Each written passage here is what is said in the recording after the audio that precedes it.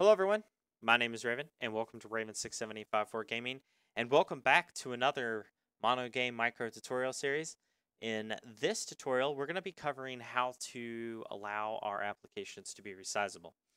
Now, before we begin, uh, if you are on the Mac, well, actually, if you are using the cross-platform GL project, uh, to my knowledge, that still does not work. Uh, window resizing does not work with GL for whatever reason. I have no idea.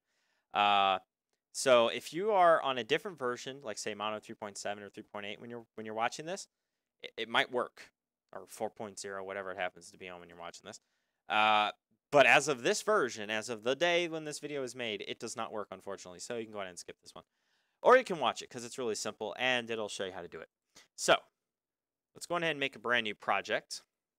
And I'm going to call this window resizing because it's very, very simple. Like I said, MonoGame is very beautiful and very, very lovely. So let's go into our initialization method where we would set up all this stuff and allow, let's just make a little comment here. Allow our user to resize. And then we want to do window, not title. How am I doing that?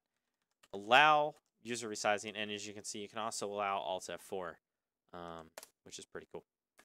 And we'll set this to true.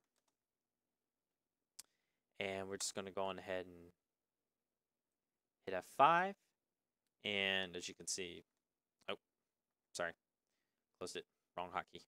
Um, and as you can see, you can just, uh, sorry, uh, you can just uh, double click maximize and you can set it to uh, whatever you whatever you'd like. Okay, so uh, thank you for watching, everyone. I uh, hope you guys enjoyed this really quick micro tutorial series.